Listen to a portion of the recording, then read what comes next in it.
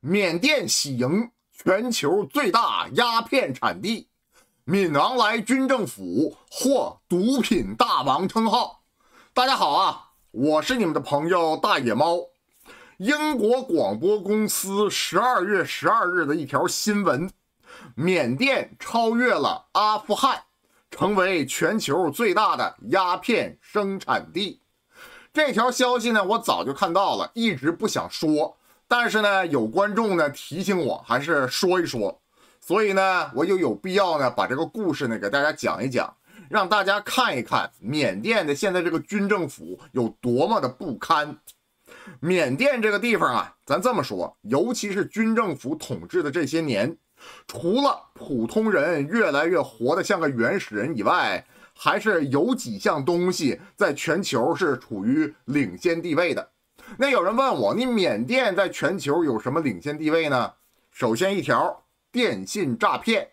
电信诈骗呢，缅甸不是领先，但是缅甸电信诈骗的对象那绝对是杠杠的。为什么呢？他超级大国他都敢惹，然后呢，把这个东西呢当成一种创收的方法，这点上，哎，其他的国家呢是不敢干的。所以呢，缅甸在这方面呢还是。在地球上走上了领先地位。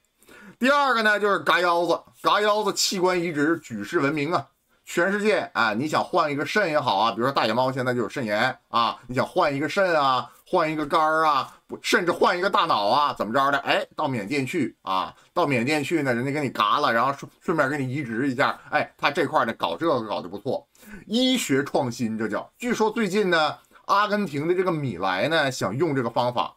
所以呢，我还是建议啊，像那谁，像什么白所成啊，像魏荣这些人呢，赶紧呢把这个产业呢转移到布宜诺斯艾利斯，然后呢在阿根廷呢推广缅北的经验。这个呢是嘎腰子。第三个事儿就是我们今天要说的鸦片。根据联合国最新的报告显示。缅甸今年的鸦片产值同比增长了百分之三十六，达到了一千零八十吨。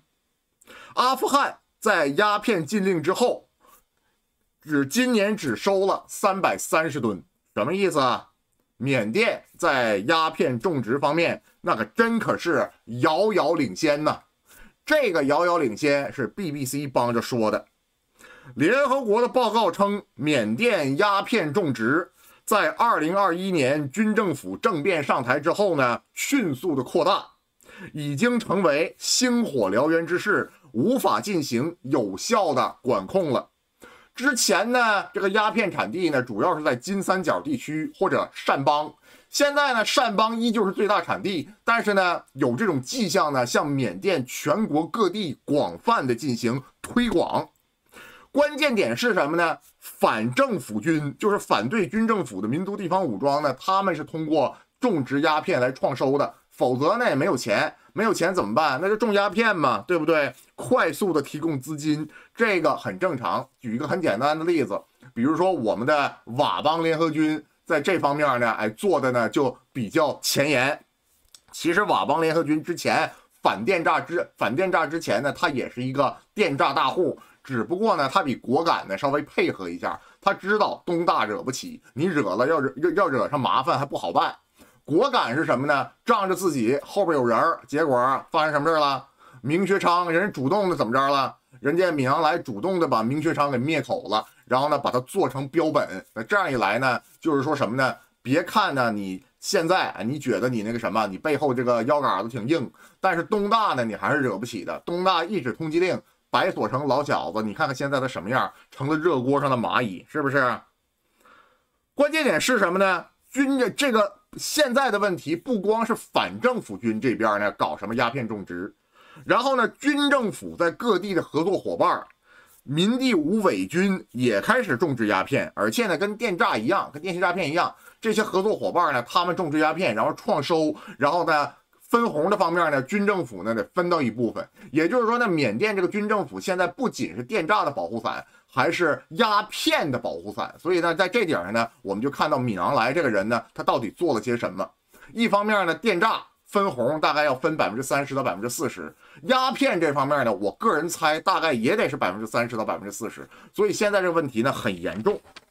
闵昂莱这小子现在是电诈的保护伞、嘎腰子的保护伞、非法走私稀土的保护伞和鸦片的保护伞。你自己好好想一想，什么克钦邦新民主军，呃，管控这个班瓦尔地区，班瓦尔地区它成了边防军了。边防军的脚下这个土地就不是缅甸的了，然后修的路全通往一个地方，然后不通往缅甸，最后这个这个这个稀土就被走私出去了，走私出去了，自己呢，哎，马上就肥了嘛，然后就可以养自己的军队。其实缅甸这样的情况呢，到处都是，缅甸的各个山头里边都有自己的民族地方武装，这些民族地方武装，无论是跟军方合作的，还是跟军方暗通款曲的，还是跟军方对抗的。都有形形色色的黑产，都有形形色色的产业，而这些产业才是圈养着这些武装长期化的一种趋势。鸦片这个东西呢，我们也知道是一个硬性毒品，海洛因的关键成分。而缅甸与印度东北部早在英国殖民时期呢，就是重要的鸦片种植基地。一八三九年，林则徐虎门销烟，那个鸦片是从哪儿来的呢？就是英国东印度公司在阿萨姆和曼尼普尔地区的种植园从这块来的，后来呢又加上了缅甸省和上缅甸进行广泛的推广种植。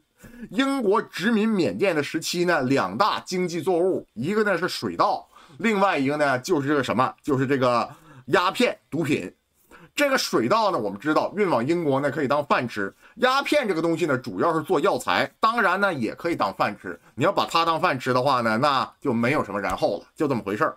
昨天呢，我给大家介绍了加拿大的那篇文章，说呢克钦邦的稀土开采公路呢只通中国不通缅甸。现在今天呢这个故事呢讲的就是鸦片种植。其实缅甸这个国家呢，我这边一看，这都些什么玩意儿？怎么一个黑产都落不下它呀？所有的黑产它都包圆了。其实缅甸这个国家呢，我们也知道风水宝地呀，但是军政府执政这些年，这个一手好牌打了个稀烂。我说的从乃温开始呢，就基本上形成这个态势了。乃温执政了几十年，然后缅甸发展也不见起色。然后呢，是那个和平与发展委员会跟中国关系呢搞得不错，还有一定的发展。然后呢，是民选政府时期十年，这十年呢。发展的还算可以吧，然后就是这个闵昂莱，闵昂莱根本不懂得发展，而且呢，他也不懂得外交，他觉得自己呢左右逢源，到时候他成了孤家寡人。但是呢，他这种穿梭外交呢，一个朋友也没交下来，然后对缅甸来说呢，绝对不是什么好事儿。你说你跟中国绑在一起搞“一带一路”，中国大量的资产，中国大量的这个。工厂转移到缅甸，缅甸从劳动密集型开始做起，然后通过发展来改变各地的态势，来改变各地的这种风土人情，改变各地的这种文化素养，包括改变各地的经济结构、社会结构，这本来就是件好事儿。但是闵昂莱你不这么做呀？闵昂莱你怎么做？你一边去跟印度搞到一起，胶漂港还没有还没有开始建成，你这个石对港跟印度就马上开始通航了。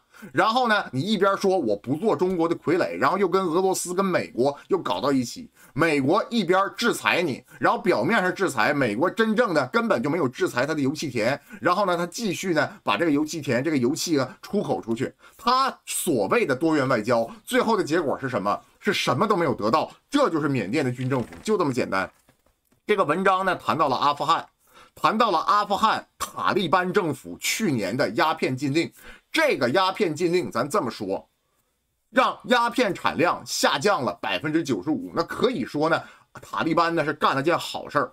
咱们现在就对比一下啊，缅甸军政府的处境跟塔利班的处境。咱这么说，缅甸军政府的处境比塔利班可是好多了。塔利班统治的阿富汗那叫个什么玩意儿？那叫个什么地方？阿富汗这个地方内陆山地。这个地方根本就是怎么咱这么说，鸟不拉屎的地方。这个地方根本没有办法发展。但是我们看到了阿富汗有谁？有塔利班。塔利班是个什么？我个人认为塔利班是非常非常励志的这么一个政治组织。你自己好好想一想，塔利班的开局到底是什么？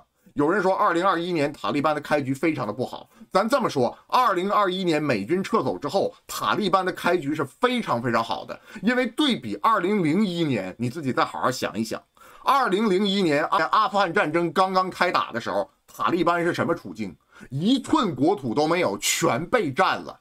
国土全都被占了，还坚持着抵抗。当时塔利班的处境是什么？被全球唾弃。然后美国通过联合国授权，给塔利班加了一个东西，叫恐怖主义支持者和恐怖分子。然后塔利班面临这个对手，面对这个对手是鼎盛时期的美国，加上鼎盛时期的北约，加上俄罗斯的合作，面临这么大的一个对手，然后自己的装备是什么样？自己的装备，我可以告诉你，它悬殊到什么程度？悬殊到外星人打原始人，你懂不懂？就是这么一个差距。塔利班二十年艰苦卓绝的奋斗，最后怎么着了？阿富汗战争竟然打赢了，你想过没有？然后你看看人家治理，人家治理不到两年把鸦片给干掉，然后现在人在干嘛呢？在阿富汗开矿。在阿富汗开这个油气田，让中资机构去投资。前两天，阿富汗一个矿石，哎，一个一个矿石生产基地，然后人家开张了，开张了一大堆啊，穿着这个大头巾呐、大胡子的，边上站站着一个穿着西装的，哎，黄皮肤的，一看就是一看就是中国的投资商嘛。所以你看看人家，再看看缅甸，再看看缅甸这个地方，缅甸这个地方真是左右逢源，尤其是这个地缘，在印度、在中国、在东盟中间儿。这么一个好地方，他左右逢源，他都不会。你自己好好想一想，还搞什么大缅族主义？大缅族主义，咱这么说啊，从一个某种特定的历史时期，反殖民主义时期呢，大缅族主义呢是有用的。但是我可以告诉你，这个大缅族主义在缅甸独立之后，基本上就玩坏了。玩坏了怎么着？把这个国家彻底的玩到茅坑里去。而且这个大缅族主义套上了印度那个种姓制度，最后的结果是什么？最后的结果，在缅甸这样一个贫穷落后的地方，而且是顶着现代民族意识不断增强的这么一个时候，在干什么？在缅甸搞等级制度。你在搞等级制度，然后你还不能给周边的地方带来发展，最后的结果是什么？最后的结果不就是星火燎原之势吗？然后你缅甸得到发展了吗？你成天军政府，你得到发展了吗？你军政府没有得到发展，大缅族主义彻底把这个国家带到茅坑里去了，是不是这么回事啊？就瞅你现在这个骚样，就是这么简单，是不是啊？那有没有什么解决方法？解决方法非常非常的直接，就是通过发展来改变社会与经济结构，包括这个文化、这个这个社会形态的一种表述嘛。有人说地方自治，地方自治，咱这么说，只是一个程序正义。我们今天聊的这些东西，我之前也一直聊这个东西，程序正义它不解决问题。这玩意儿如果没有发展做依托，是没有办法推行的。我们知道西方有这个民主议会代议制票决制度。这个制度曾经很优秀，这个制度曾经很优越。为什么很优越？它是在国民主义兴起的时候，国家主义兴起的这么一个一段时间，公民意识兴起的时候，它让公民有这种参政的这种意识。参政的艺术使得什么？自己有一个民族自豪感。但是你不要忘了，这个民族自豪感，这个票决是跟什么绑在一起的？跟个人参政，跟工会保证他们的权益，跟发展，跟福利分配搞到一起的。没有这些东西，你觉得行吗？根本就不行，这个东西我们后来看到了，他玩不下去了，玩不下去了，怎么着啊？新自由主义，新自由主义是什么？我的一个朋友跟我说是什么？在上层搞社会主义，在底层搞资本主义，然后用底层的代价来反哺上层，这就是新自由主义。而这新自由主义的结果就证明了票决制度的破产与失败，就是这么直接。那缅甸有谁可以参考啊？你要想找理论。北边这个就可以，就是东纳就可以了。找理论，中华民族，中华民族非常贴切。你现在缅甸不也想搞这种民族融合吗？一百多年，中华民族这个概念就出来了。缅甸现在才把它玩明白，晚了一百多年。然后呢，还有谁可以学呀？伊朗，你看看伊朗巴列维王朝。巴列维王朝有人说是腐败，有人说是那什么，有人说他自己呢没有得到发展。然后呢，伊朗的普通人很穷。巴列维王朝其实在巴列维王朝的末期搞了一个非常非常不得体的东西，就是波斯文化在伊朗这个国家，波斯人仅占人口的百分之六十四，在这种情况下，你搞波斯文化是不行的。然后我们看到了什么？霍梅尼也好，哈梅内伊也好，搞的伊朗伊斯兰革命。有人说伊朗伊斯兰革命是宗教的复辟，不是宗教的复辟。伊朗这个伊斯兰革命是什么？它是一个列宁式政党领导，真正的目的是社会改革与工业化。中东地区最近三十年最伟大的人物是谁呀？伊朗的大阿亚图拉哈梅内伊先生啊，知道他是什么人吗？他不是波斯人，他是阿塞拜疆人，明白吗？伊朗，你看看他搞的，他这个模式，缅甸完完全全可以学呀。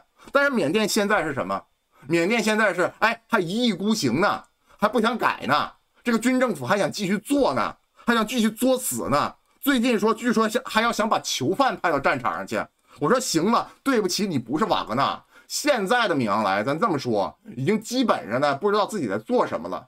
自从被俄罗斯、被印度等大国抛弃了之后，他现在怎么着？生活在梦幻当中，成为一个彻底的孤家寡人。所以现在呢，又喜获毒品大王的称号，那对他来说呢，也是一种奖赏罢了。好了，这期节目就到这。喜欢大野猫节目，别忘了点赞、评论、转发，没订请订阅一下，谢谢大家。